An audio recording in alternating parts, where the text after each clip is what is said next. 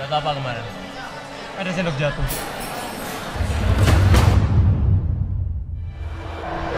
Kalau aku jadi kamu, aku bakal pakai kekuatan itu buat nyelamatin orang lain, boy. Jadi superhero. Dasar maniak komik.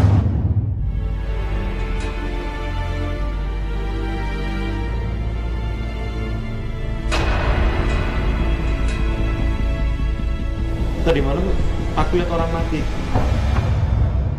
Ini berarti kesempatan kita bisa ngomong.